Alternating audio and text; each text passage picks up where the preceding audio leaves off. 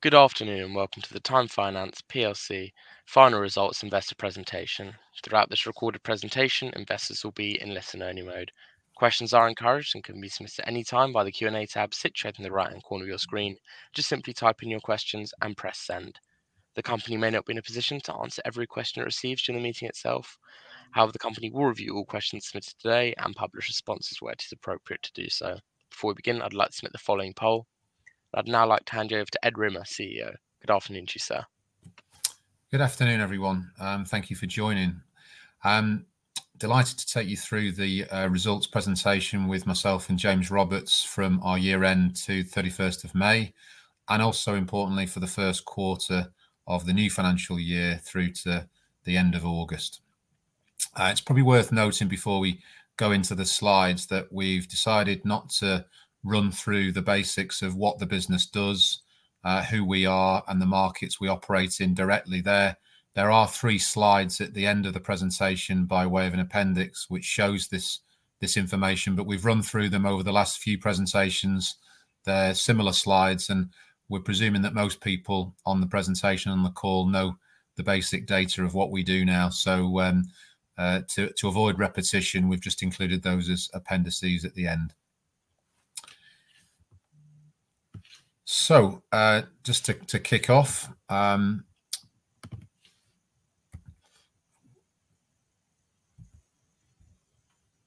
by way of introduction, uh, I'm Ed Rimmer, uh, Chief Executive of the business, just over a year into the the role.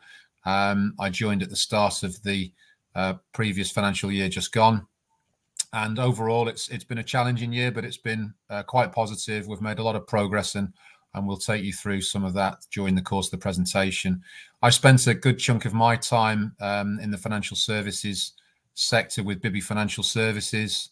Throughout that time, always lending to SMEs, 25 years in the industry, uh, and 17 years with Bibby, five years of which were as U.K. Chief Executive. Uh, James. Thanks, Ed. Uh, yeah, good Good afternoon, everybody. Um, my name's James Roberts. I'm the CFO of Time Finance. Uh, I've been with the business now uh, just over five years. I joined in May 2017. Prior to that, I haven't quite got Ed's 25 years experience in FS, but I've got over 20. I qualified as a chartered accountant with PwC, and then have been involved in various financial services firms in various roles, AIM-listed global companies, startups, that type of thing. Um, but as I say, yeah, been with Time now for just over five years. Thanks, James. Okay, so just to run through an update on our strategic plan. Um, this was conceived, put in place at the start of the last financial year, so the beginning of June 21. Um, and Just to run through what we are looking to achieve. Uh, become a nationally recognized SME funder in the alternative lending space. More than double our gross lending book up to 250 million pounds. Achieve profits organically in excess of the 2019 peak pre-COVID. And significantly strengthen our balance sheet through focusing on our own book activities as opposed to our broking activities. So progress. Um, well, I think positive progress, uh, certainly in the last three months of the financial year just gone and and into the first three months of the new financial year through to the end of August. Um, you can see there the lending book has grown to 143 million. Um, that's up uh, 4% from the end of the financial year, so just in the first quarter alone. And but from the start of the plan, uh, it's up 24% from the starting point of 116 million. So Overall pleasing growth. That's been driven really through the two key offerings as we see our product portfolio, and that's hard asset finance and invoice finance. The growth through hard asset, um, from 32 million at the starting point, we've grown 38% up to a book of 44 million at the end of August. And invoice finances has recovered significantly since the low points of the pandemic. Uh, we now have a lending book in invoice finance of 45 million, uh, and that's an 80% increase from where we were at the start of the plan.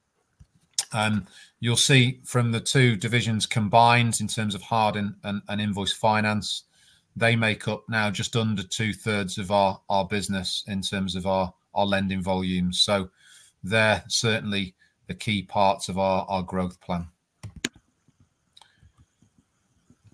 Some of the uh, figures just before I go on to what we've been doing um, to improve and, and, grow the business. So, unearned income this is the income that we effectively book in the asset and loan finance businesses when we uh, bring on uh, origination new new business. Um, that is now 17 million at the end of August. It was previously 14 million, so an increase of 3 million over the last 15 months, which underpins and, and builds confidence in terms of our future income streams. Um, pleasingly, the growth hasn't been at, at the expense of reducing margins. Uh, gross profit margin has increased um, from 62 to 64% from the launch of the strategy. And also, the growth has, has, has not been at the expense of bringing on lower credit uh, quality. We've seen a reduction in our net arrears from 14 million at the start of June 21 down to 9 million at the end of August. So all positive figures. Uh, what have we been doing? Well, um, we set out to simplify the structure. We decided that we were going to focus on being um, an SME business to business lender. We did have a structure previously through some of the acquisitions that the business had made historically, where we had consumer finance businesses that were more heavily regulated and brokerage businesses. Um, we've exited one of those uh, that loss loss making second hand vehicle broking business, um, and we are close to exiting the second one, which is a consumer mortgage brokerage, and that should be completed during the current quarter. Um, that will then position us as, as I say, as an SME lending business, building predominantly our own book with three core products: asset finance, loan finance, and invoice finance. So um, much more simple business for the business, the market, and our introducers to understand. We've invested in in some proven talent um, as well as the the leaders of the visions that I mentioned. We've also brought in some more experienced salespeople into the particularly into the hard asset and the invoice finance businesses. So in terms of leadership, we brought in Sharon Bryden, who joined um, in August last year to head up the loans business. Um, more recently, at the start of this calendar year, Steve Nichols came in to lead the asset finance business. And very recently, we've just appointed Louise Ikonomides as head of business improvement. And that is a, a key role that is, is probably the final um, senior appointment that we're looking to make for the, the short term, certainly for the, the foreseeable future. Very much focused on process improvement, uh, project management, and um, operational efficiency, an area of the business that we have made some strides in, but we've not had any real focus on that from one accountable individual. Um, Louisa's got good experience in that in that field, and importantly, it's aligned to working in the asset finance industry as well through many years. So we're looking forward to what we can do there, and as we grow, we we we will um, hopefully grow more efficiently than we we have done historically. We've also focused on developing our multi-products offering, spent some time putting together an asset-based lending product to be launched uh, during the current quarter. That is effectively knitting our current suite of products together and being able to offer them as one.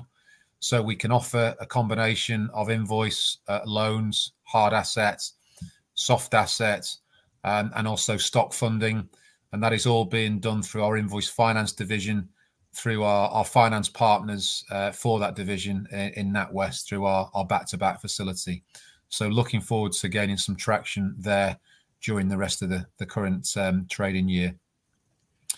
We've also migrated our loans offering, not completely away from unsecured loans. We still offer that product, but we're, we're looking to more focus on the secured lending in, in loans. And as the government guarantee schemes have ended now, the RLS and prior to that, CBILS. We expect demand for secured loans to start increasing through this year and into next year. Um, and that's something that Sharon Bryden's been focusing on heavily. Um, and also, I mentioned our soft asset offering. It's um, our smaller part of the business. We do have a, a niche in that soft asset market, um, and we've developed a fast track product to basically progress the smaller deals quick more quickly Um, we have a natural spread of risk because the average ticket size in that market is around 7k.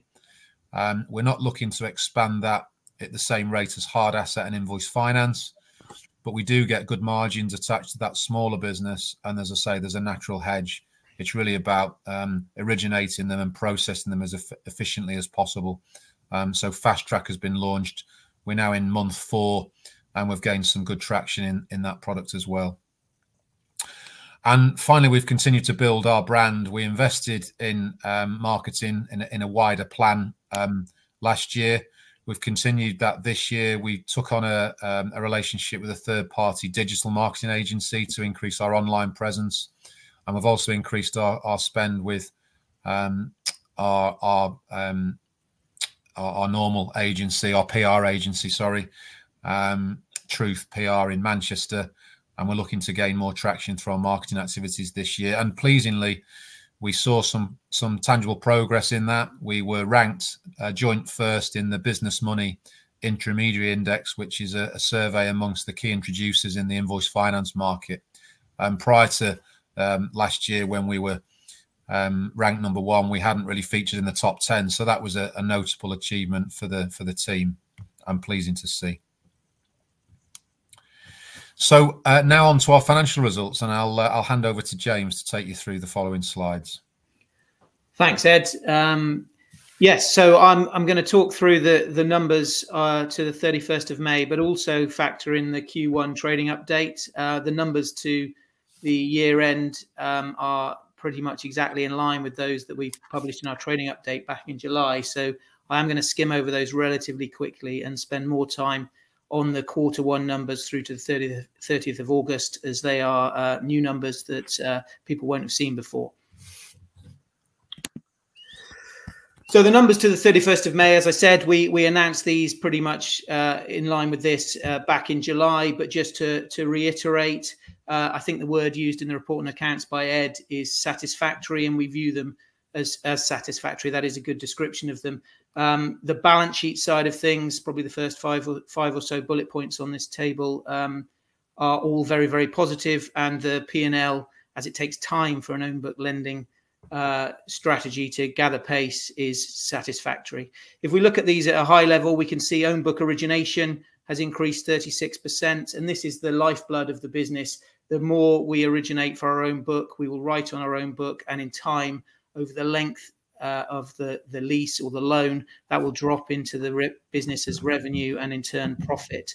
Um, so it does take a little bit of time because uh, the average lease or loan is, is three to four years. We'll lend between three months and five years, but the average one is very much a bell curve and the average lease is three to four years. Um, so that revenue of those businesses will drop in over three to four years that has led to the own book lending uh, book grow growing. It's now 137 million or so at the end of may which is uh, about 18% up on the year before. Um, it is relatively easy to lend money. There's a great skill in making sure that money is paid back and the next two bullet points are, are, are very pleasing for us. The deals in forbearance uh, are now zero. At the height of the pandemic they were in the tens of millions. At the end of 2021's financial year, they were just under a million, and at the end of the year just finished, uh, they are now nil, which is a fantastic result, we believe, given the effects of the pandemic, uh, and reflects the hard work and skill of our credit team. Uh, the net deals in arrears, and this is any deal that could be one day overdue through all the way through the process through to being uh, dealt with in the legal department, uh, has fallen dramatically about 35% from uh, 14 million or so to 9.3 million at the end of May. Um, and as I say, the balance sheet has strengthened, which is particularly pleasing. Our consolidated net tangible assets now over 30 million at 30.5 million. The P&L perhaps hasn't uh, moved to reflect that yet, but as I say, an own book lender takes time for the numbers to throw flow through into the P&L. Um, the revenue for the period is down slightly by about 2%. Uh, that's driven by two key factors to draw out. One is included in there are the discontinued operations from our uh, non-core vehicles brokerage that Ed mentioned that we divested back in May. If that's removed from continuing operations, our revenue has been flat during the year at about 22 and a half million. Also worth pointing out, though, in the, the numbers to May 21, the year before, there was about 400,000 pounds of government support through furlough income Uh, so the true comparator is probably uh, a slight increase from 22.1 million up to 22 and a half. Uh, and those numbers are, are, similarly reflected in, in profit before tax and exceptionals, um, which is relatively flat um, on a standard metric, uh, and it's it, it is flat on a continuing operations one. You'll see the PBT number is is quite quite a lot lower, and that is because there is a significant amount of um, exceptional items in the year, the financial year just finished. Uh, a million pounds of that related to um, the closure of the operation, in the second-hand vehicles operation, and a, a good one-off goodwill write-off of, of, a million pounds as a result of that. So the reason it's dropped so much is almost entirely due to um, that one-off goodwill impairment, uh, where we removed the goodwill from the vehicles division as we closed it down. So overall satisfactory for the year through to May 22. Um, but we're particularly pleased with how things are going uh, for the first quarter through to 30th of August 2022. Uh, Ed mentions in some of his reports in, in the report and accounts that we had very positive trading momentum in the final quarter of the last financial year, March, April, and May, and that has continued through June, July, and August. And when we compare the results at the end of August 22 to a year before, at the end of August 21, um, I think both the balance sheet and the P&L uh, are, are, particularly pleasing, and we can see the momentum beginning to gather speed. So our own book origination up 26% on the year before, uh, and that's led to the book continuing to grow. So I said earlier it was 137 million or so at the year end. It's now just shy of 143 million which is 24% up on the same period uh, at 30th of August 21. Deals in forbearance remain at nil, uh, and deal arrears have continued to fall. They've gone from the 14.3 at the end of August, uh, 12 months prior, and then it was 9.3 as I mentioned at the end of May. It's now 9.2. So the book has been growing, and at the same time, the deals in arrears have remained relatively static but have fallen. So as a percentage of the book, they really have come down which we think is, is, is very good in the in the wider macroeconomic environment. Uh, net tangible assets continue to grow, um, 31.3 million now, which is uh, nine uh, percent up on the end of August the year before. Um, and when we look at the P&L, this is where we really are beginning to see the effects of the of the strategy in growing the own book. Revenue, 6.3 million for the three months. That's 12% more than the three months, 12 months earlier. Um, profit before tax and exceptionals, a million pounds for the three months compared to 0.4 million uh, before. And the bottom line, PBT, as I mentioned earlier, there's no goodwill write-off. Uh, that that depressed the May 21 numbers. Um, so we, are now at 900.9 million uh, compared to 0.4, so 125% up on uh, the three months, 12 months earlier. So overall, um, we think real momentum being shown uh, on the P&L now for the first three months and continuing strengthening of the balance sheet. Two other slides from me just before I um, hand back to Ed. Uh, some of these I have mentioned before, but I do think as an own book lender, they're key. Um, you can see here talking about the, the, the balance sheet in a bit more more depth. Three key things: net tangible assets, gross lending book, and net arrears. And and the headlines behind those are, you know, net tangible assets are now at record levels. The gross lending book is back to pre-pandemic levels, and the net arrears are now consistently below the pre-pandemic levels. And they're three key big positives in our mind. Um, despite the effects of the pandemic, you can see on the left-hand side table, net tangible assets have continued to grow throughout that period from 25.4 million back in May 19 to now 31.3 million. As I, as I mentioned, we've remained profitable throughout a very challenging time. Um, the lending book now, again, the middle table you can see is pretty much back to where it was in May 19, pre-pandemic. We were at just under 142 million. We're now just over 142 million uh, as at the end of August. So we've sort of weathered that uh, COVID-induced reduction in the book, and that's uh, really beginning to grow. The highest we've ever had pre-pandemic was about 144 million. So we would expect, hopefully, in the next few months, we'll be uh, having the largest gross lending book that we've ever had uh, if things continue as planned. And the final one, I touched on it uh, about uh, arrears and, and, how crucial that is. This graph here shows the arrears since uh, January 19. The purple bars are just standard arrears. That's any deal that hasn't quite paid as, as we were expecting from missing one DD because somebody's on holiday or they, it bounced for whatever reason, all the way through to what's in legal. The green bars, uh, which are around the sort of May 20 area primarily, that is where we granted forbearance to a number of our clients due to the effects of the pandemic. So you can see the green has gone, as I touched on. Uh, there's no balances in forbearance anymore. And crucially, the, the purple bars, the, the net arrears, are now consistently well below the pre-pandemic levels. You can see probably almost for the last year since September 21, the right-hand third of that graphic uh, is consistently below the left-hand third of the graphic, which was the pre-pandemic, and obviously with the big spike in the middle third for the pandemic.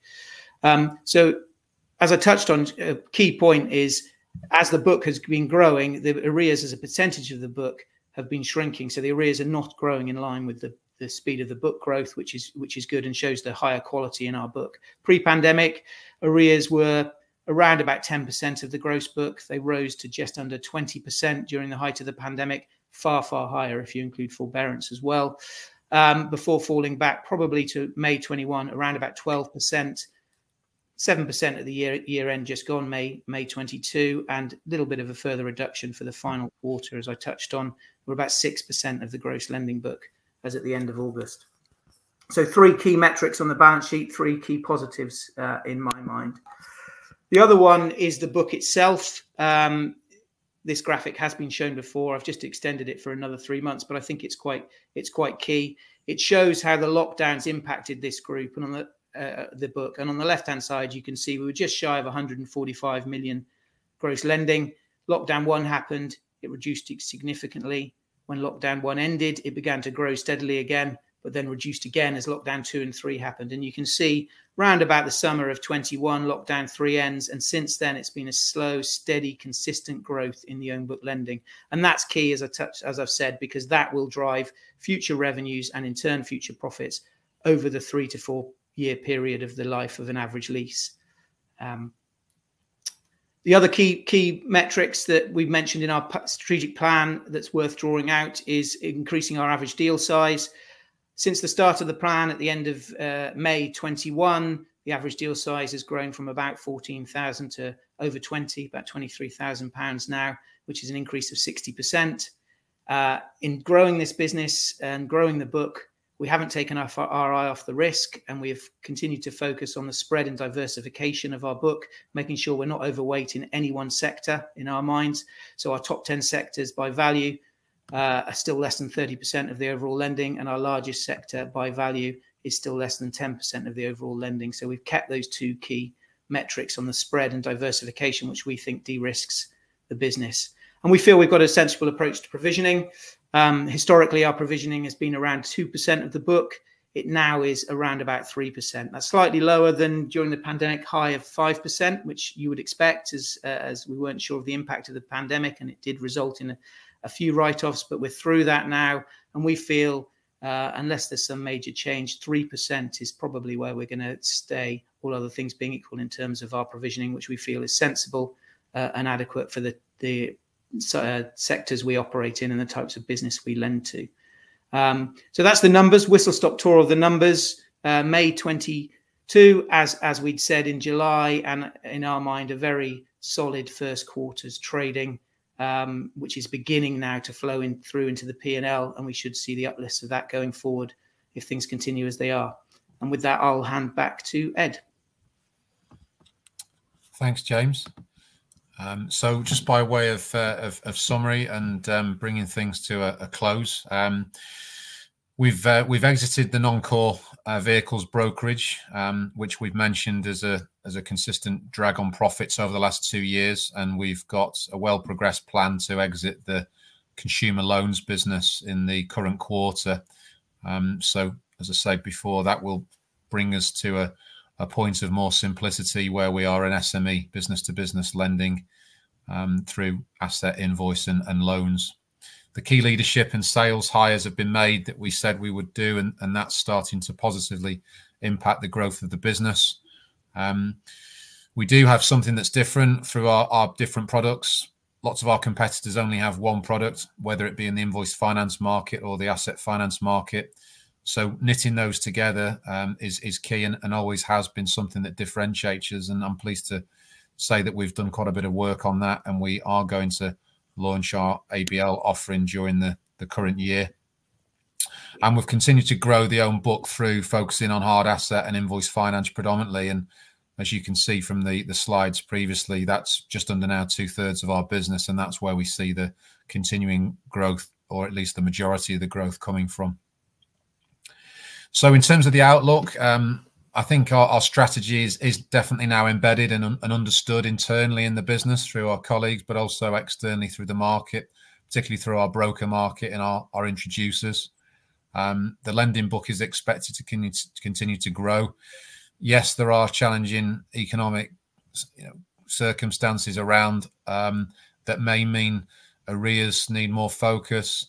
SMEs will be more struggling for, for cash availability, but that pre presents good opportunities for us. Um, and that's why we're quietly confident about the rest of this year and, and the future. Um, the medium term aim and the strategy that set, has been set out remains the same. Um, momentum is building around that plan um, and um, we're confident of, of, delivering it. Relatively early days still. We're into the second year of the plan now, but I think all in all, over the certainly over the last six months, the progress has been more encouraging, um, and um, the momentum should continue to build through the current financial year. So the, the next few slides are just the appendices that I mentioned. Um, these will be available to anyone who wants to see them um, but it really just recaps previous slides we've done in um, past presentations as to who we are, what we do, the different products that we offer, um, and where we sit in the marketplace. Um, and uh, that that is uh, that is it. Um, I'm sure there's been some some questions come through, so we'll turn to Q and A now. Ed, James, thank you very much for your presentation. Ladies and gentlemen, please do continue to submit your questions just using the Q&A tab situated in the top right corner of your screen. But just while Ed and James take a few moments to review those questions submitted today, I'd like to remind you that a recording of this presentation, along with a copy of the slides and the published Q&A, can be accessed via your investor dashboard. As you can see, we've received a number of questions throughout today's presentation. And James, if I could just ask you to read out those questions and give responses where it's appropriate to do so, I'll pick up from you both at the end. Great, thank you. Yes, and thank you for everyone who's um, submitted questions. Uh, we can see there's quite a few coming already, so we will try and answer them to the best of our ability in the time we've got left. Um, first question from uh, Colin C. In July, in the July 22 meeting, there was a question regarding why no updates had been supplied for an extended time we you replied this would improve. You were subsequently asked about the direction of the Wellesley Arena 20% stake in the company. You stated you were meeting Arena a week later. To date, there has been no updates on this. Please explain why no communication has been posted and provide a verbal update of the outcome of that meeting. Um, Ed, would you like to take that one, or would you like me to? No, no, I'm happy to take that, James. Um, well, I, th I think it, has been a relatively short time scale since we last presented. Um, in July. So, um, and we have done some updates in that time around um, other non-financial uh, positives around the business in terms of some of the appointments we've made. Um, we have just so shareholders are, are, aware, we have agreed as a board that we um, will do a more focused plan this year on retail um, investors.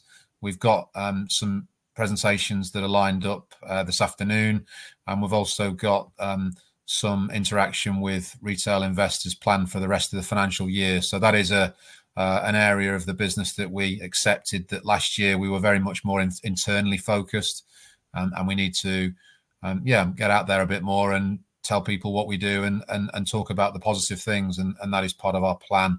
Um, in terms of the specifics around the uh, arena stake, um, I'm, I'm, afraid um, there's been no update because there's nothing to say. Nothing to say. Um, yes, a, a, meeting took place as you would expect with a, a significant shareholder. Um, but aside from Arena being interested in investing in small cap um, FS businesses um, and it being consistent with their strategy, um, I'm afraid there's nothing else to tell of, of significance. So we will continue to engage with Arena as we do with our other shareholders Um, and if anything materially comes up that I'm, at liberty to tell uh, the market, then I, I will do. But I'm afraid there's nothing else to tell. So that's why there's been no update. Thanks, Ed. Um, second question, also from Colin. There are two good figures in the annual results own book underwriting up and deals in arrears down. All the other figures are pretty well unchanged from the previous year. The model was theoretically that the own book equals more profitable lending.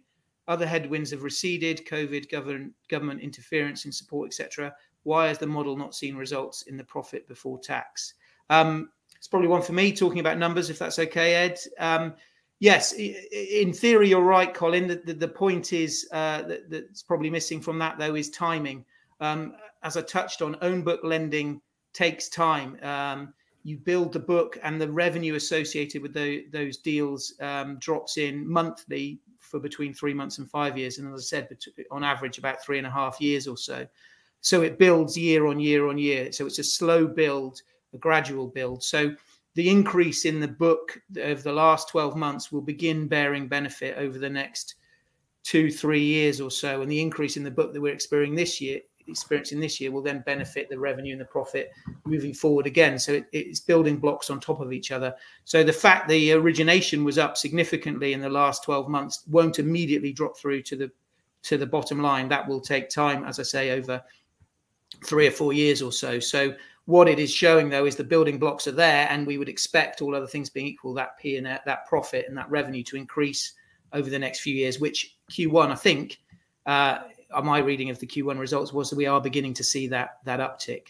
Um, but it's it, it is it is slow. It doesn't happen immediately. Unlike brokerages, if you broke something on, you get the revenue in that month, and that's it. Um, but it's lower revenue in the long term. Uh, I hope that um, I hope that answers that question. Um, Toby F, uh, as interest rates rise, is your NIM inevitably going to be squeezed, or can you pass on rate rises to customers? Um, Ed, are you happy if I take that one? Or sure, yeah. yeah okay. Um, uh, uh, it's a it's a mixture.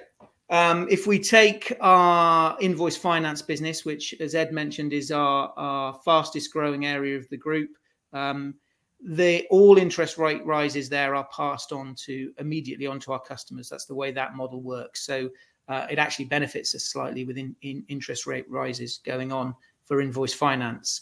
Uh, with the asset and loans divisions, it's it's a mixed bag in that all deals we've already written, both to the the end user deals we've done and the funding we've drawn from our funding partners, are fixed at the point of writing the deal or drawing down the funds. So the existing lending that's out there today isn't impacted by rate rises. Um, it, is it's fixed both ways. What is impacted is moving forward. Um, future drawdowns from our funding partners will cost us more because they will increase their rates. So that that that element will will reduce our NIM. On the flip side, we where wherever possible we will look to pass that on to our customers. So at a high level, it, it, it shouldn't impact us too much, but it may be uh, within some of the subdivisions in asset or loans, potentially the NIM could be squeezed, but it shouldn't be. It shouldn't be anything too material.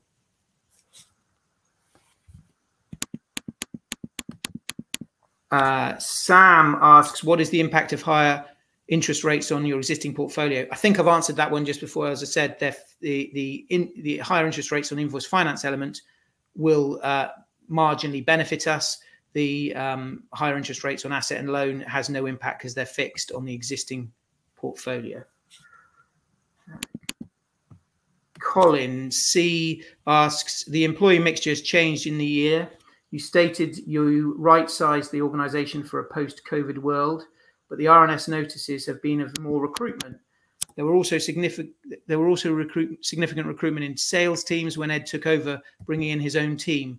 Why then has there been no increase in PBT revenue given all these strategic moves? Eddie, you, would you like to answer that one? Or? Yeah, I'm happy to take that. Um, so a couple of points there. I think um, if we took it, if we took financial year to May 22 um, on its own, then that would be a fair comment in terms of the increase in profit before tax. Um, as we said in the last presentation, though, in, in July, um, actually 60% of the profit that we made in the financial year was made in the last half. 40% was made in the first half. So we did see that impact starting to positively come through. And that's certainly played out in the first quarter. So the figures that James presented, um, £900,000 were made in the first quarter versus £400,000 in the first quarter of the previous uh, quarter, respective to the financial year comparison. So um, it, it is starting to um, show through, um, and it is starting to show through on the bottom line, um, and that should continue through the course of this this year. Um, the the other point to make in terms of we we downsize the business or right size the business post COVID, but there has been some um, RNSs of recruitment that's really just about the roles that they're doing. We we recognise that we needed to take some people on in sales facing roles and business origination roles, whereas unfortunately, um, some of the the roles that we had to make redundant were in back office. So that's really just about the actual different roles. It's it's not comparing like for like in terms of just recruitment, um, you know, numbers at, at one stage of the year versus another stage of the year. It's it's entirely down to the roles that they fulfil. Thanks, Ed. Um, next question, uh, Colin. Again, it was previously stated that a target was to double the gross lending book to around 250 million over four years. Where are we on that journey, and do you still believe it's achievable without further recruitment? Ed, would you like to do that one, or I can? I yeah, I'm happy to do that again. Um, so, well, you saw in the presentation, obviously, where we were on that on that journey. Um, 144 million uh, is the is the overall lending book, and that's up from 116 million at the start of the plan. We need to increase broadly 20% um, each year compounded for the course of the, the, the remaining time of the plan. Um, and that's been broken down into the, as you'd expect, into the different divisions and what we need to achieve from hard asset finance, invoice finance, loan finance, and, and soft asset finance.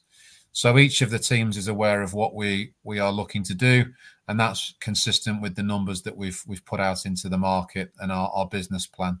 Um, so yeah, I mean, some of the numbers were included in the presentation, um, and you know, broadly speaking, we're we're on track to achieve what we need to achieve. But clearly, there's still a long way to go.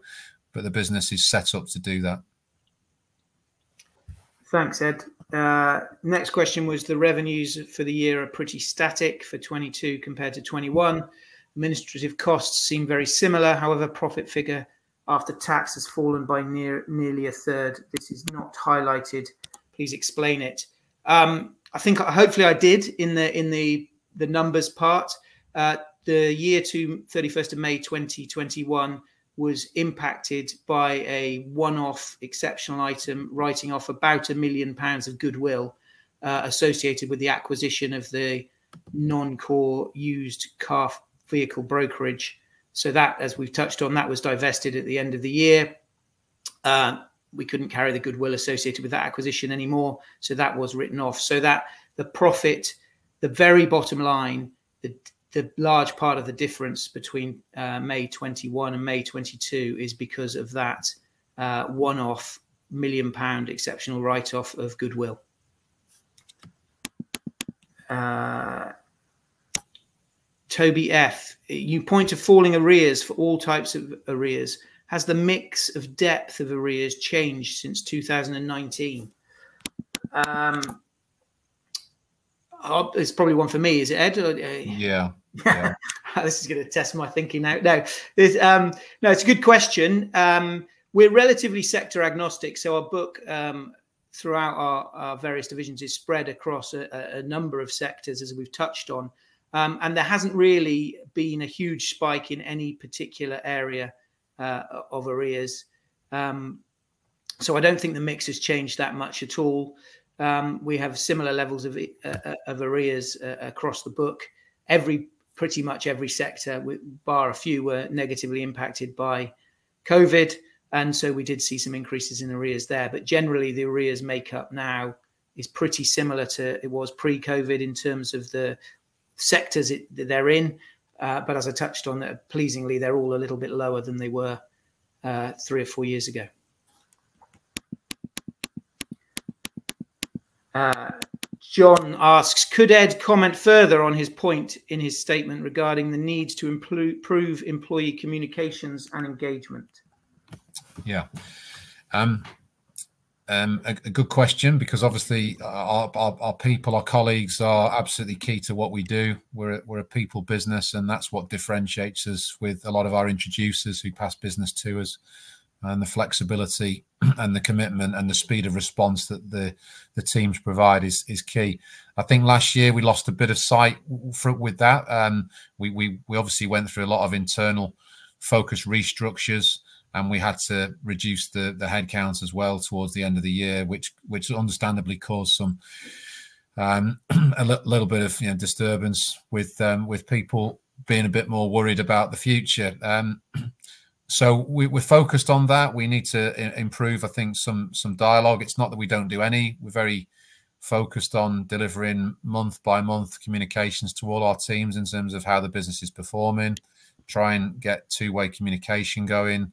Um, suggestions of how we can improve the business and how people are feeling. Um, we're obviously in the midst of a, a whole different wave of unsettlement at the moment with regards to inflationary pressures, cost of living increases um, and all the things that everyone else is suffering from and aware of. Um, so that's something that we're we have a plan for. Um, so I think it's just really recognizing that and um, and putting a, a, bit more structure um, around what we need to do to better improve um, communication and, and, engagement. And we, we do have a plan for that this year. Thanks, Ed. Uh, another question from John was: To what extent has the P&L benefited from the reduction in bad debt provisions? Um, I'll take that one if, if, if that's okay. Um, in a nutshell, it, it, hasn't. So the reduction in bad debt provisions is has been due to uh, an increase in write-offs, as you'd expect. We increased our bad debt provision uh, as COVID hit and during COVID because we feared some uh, businesses would unfortunately um, not survive. And there was an uptick in in write-offs uh, during the COVID period. Um, that's uh, leveled out now, and we're back to um, normal range, if you want to call it that. So the provision was made to cover that increase, and then it was used to write off a few of those uh, deals that went wrong during the COVID, uh, the COVID period. So there was no benefit to the P and L from the the reduction in the in the bad debt provisions. Uh, probably one for you here, Ed. Sam has asked: Should you be considering a merger in order to in order to reach scale and reduce your significant overheads? Yeah, thank you, James. Uh, um, we're we're focused very much on growing our business as as it stands. We believe there's a good opportunity for a business like Time Finance to do that. We we we think we're the right scale to be able to compete now. We're bigger than some of the small micro players that are owner manager businesses, but we're not as big as obviously some of our larger independent and certainly nowhere near as big as the bank competitors. So we believe we've got a good position in the market to offer we what we think is crucial to SMEs: flexibility, common sense lending, and approach to um, business and commerciality. Um, all those things are still still key. Clearly, if opportunities come along that are presented to us and they make sense for shareholders, then we will consider them in the normal course of business. As you can imagine, businesses like ourselves have approaches, discussions, um, um, suggestions of this, that, and the other pretty much all the time. Um, but as I say, the board will you know, um, pay due consideration to them as and when they progress to being something meaningful. Um, there's always opportunities out there that the business could become bigger uh, as being part of something else. Um, but as I say, we believe as a standalone business, we have a very good opportunity and we're on a, a good path towards achieving the uh, the objectives set out.